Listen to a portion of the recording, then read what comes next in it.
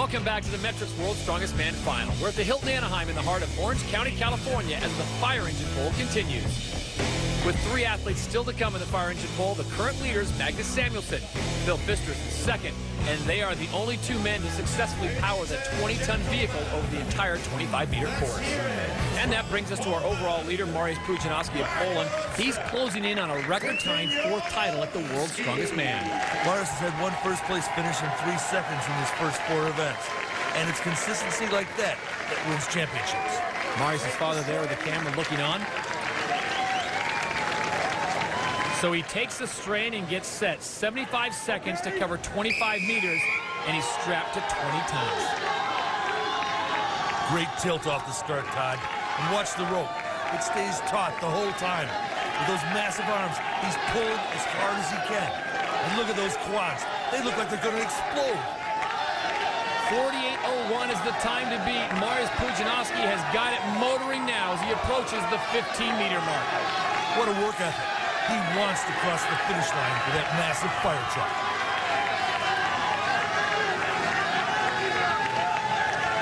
With five meters to go, will he do it?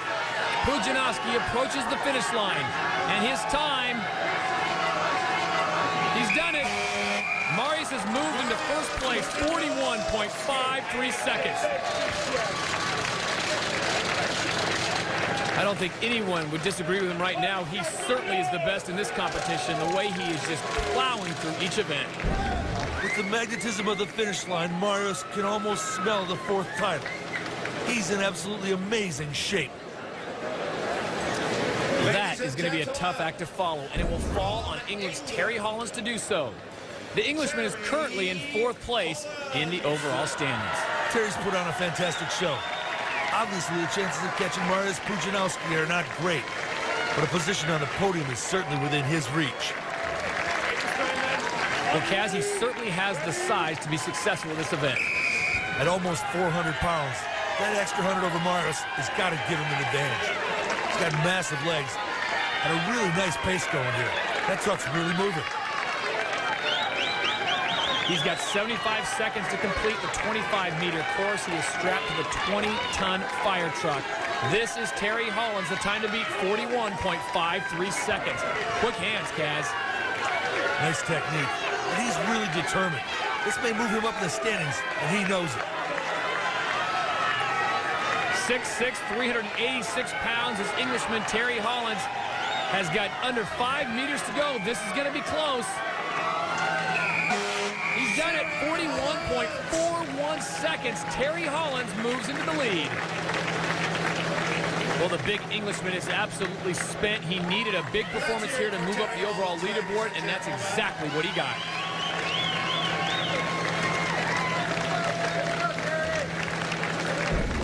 What an effort by Terry Hollands. The big man got the fire engine rolling and expended every last ounce of energy to take it over the line. The new leader standing by with Kaz. Terry, 40,000 pounds, 400 pounds. Somehow it's not fair.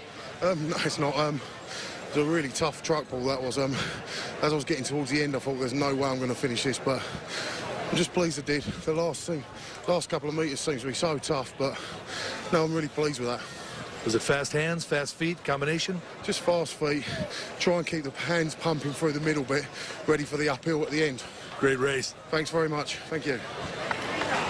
Sebastian Wenta is the only man with a chance to remove Terry Holland's name from the leaderboard in the fire engine poll. If it weren't for the unreal exploits of Mariusz Pudzianowski, Sebastian Wenta would be the main talking point of the 2007 World's Strongest Man. Sebastian has been a revelation. Sure, everyone knew that he was talented, but no one would have expected him to put it all together so quickly. Unfortunately for Sebastian, he could have issues with this event. He doesn't have the lower body muscle mass that some of the other competitors have. Take the strain. Ready? He has 75 seconds to complete the 25-meter course. Fire truck, 40,000 pounds. And if he doesn't get down, he's not going to get this thing moving. There he goes. Well, Kaz, this is only his second year at the World's Strongest Man. He's been stellar up to this point. What do you think about his form? I don't see a real hard pull on the rope. And his legs and feet are moving back and forth side to side. He's not directing his power down the course.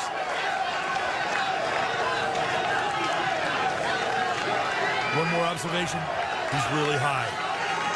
He's not willing to take the pain.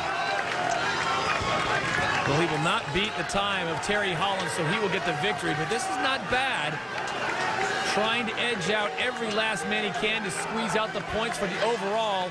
As he comes to the line, he's starting to slow. He stops it at 51.93, and he's just happy to be done. So that gives Sebastian Wenta fourth place as he hugs fellow countryman Mariusz Pudzianowski. What a punishing total body event. And for Terry Holland's a big moment. He gets the victory in the fire engine pole. His girlfriend Carly to give him a little kiss. Terry Hollands edges Mariusz Pudzianowski by 0.12 seconds to get the victory in the fire engine pole. Magnus Samuelsson was third and fourth. It was Sebastian Wenta. Phil Pfister was fifth. Pope, Ostlund, Nee, and Felix were credited for distance as they did not complete the course. After five of seven events, Mariusz Pudzianowski is firmly in command. Wenta is in second. Then it's Hollands, Pfister, and Samuelsson. Ostlund, Felix, Nee, and Pope are six through nine. Let's go to Bill Kazmaier to tell us about the next challenge in store for these strongmen. Todd, the car walk is not about what's under the hood. It's about legs, core, and heart. With 880 pounds strapped to their shoulders, these athletes will pay a tremendous toll every step down this 25-meter course. It's a World's Strongest Man Classic, and it's next.